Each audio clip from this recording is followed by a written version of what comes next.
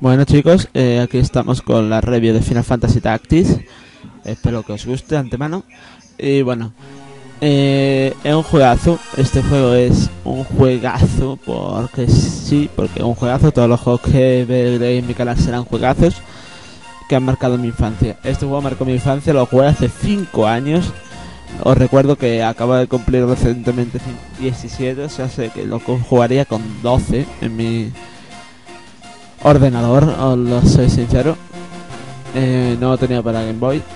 Y bueno, eh, me impactó, la verdad.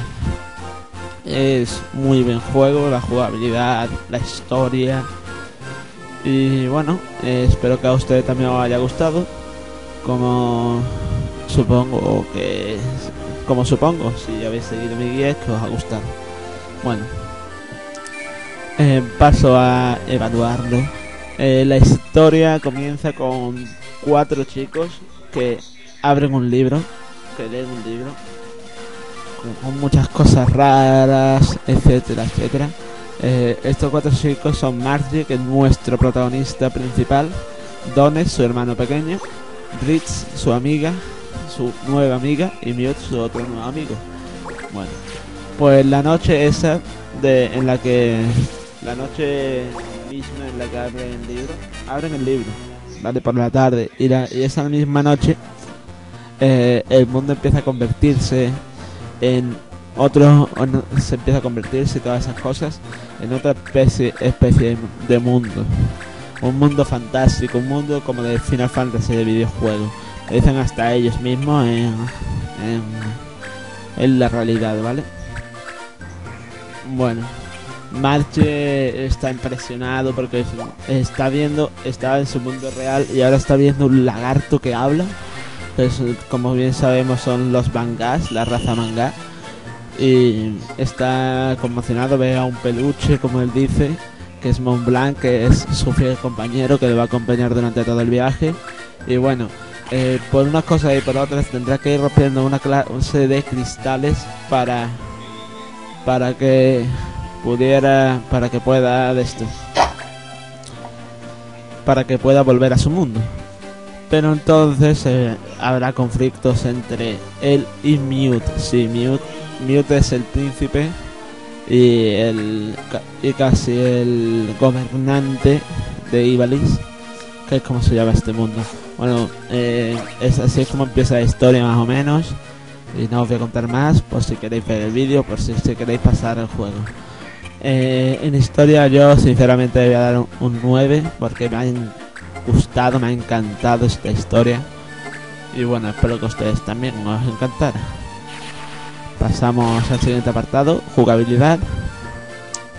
La jugabilidad es increíble, os lo digo ya, si os gustan los RPG tácticos, eh, estilo Fire Emblem, si habéis jugado Fire Emblem, os va a encantar este juego.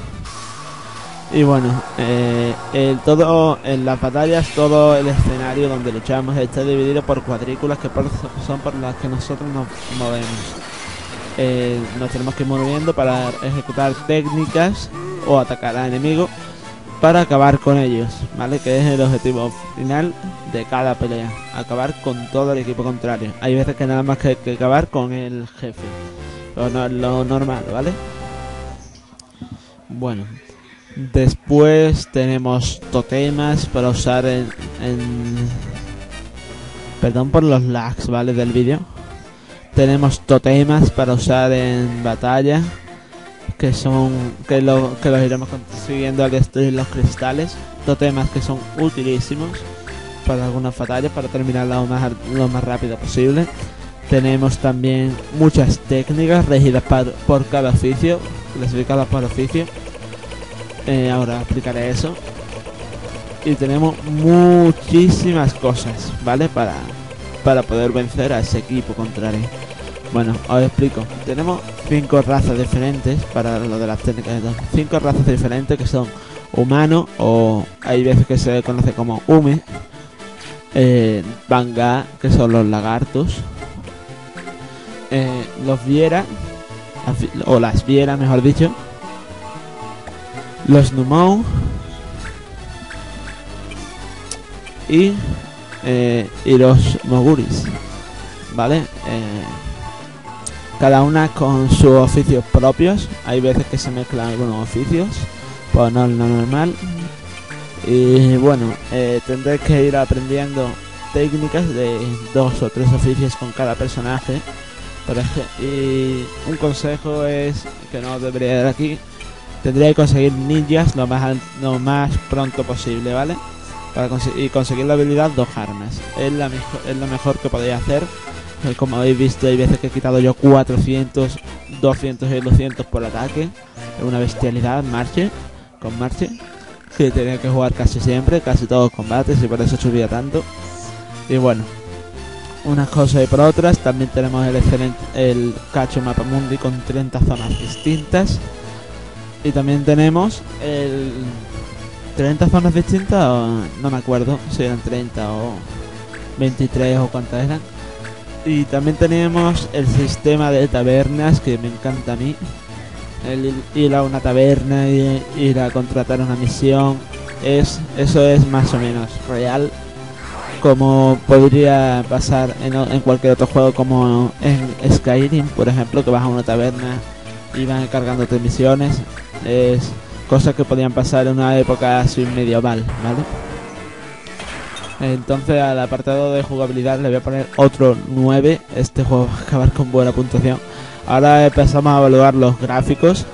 Que sinceramente a mí me parecen buenos para lo que es Game Boy Advance. Son mejores que los de Final Fantasy 1 y Final Fantasy 2. Eso sin, dudar, sin dudarlo. Así que le voy a poner en gráficos otro 9. Porque yo creo que se lo merece, ¿vale?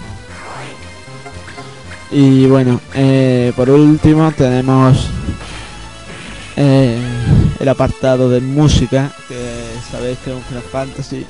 La música es buenísima, eh, no es cansina, para mí al menos no es cansina en ningún momento. Y me encanta, la verdad. Así que música le voy a poner un 10, como le voy a poner a casi todos los Final Fantasy, por no decir todos. Y bueno, eh,